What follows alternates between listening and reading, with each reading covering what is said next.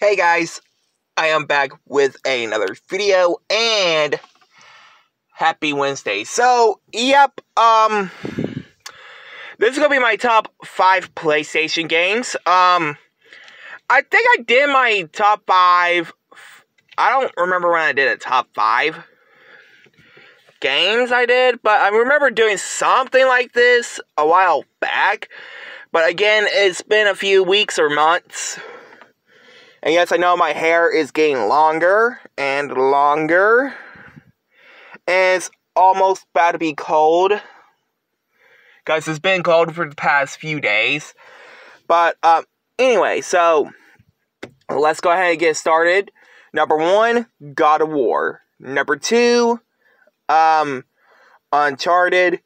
Number three, uh, The Last of Us. Number four, Ratchet and Clank. And last and certainly not least, number five, Infamous.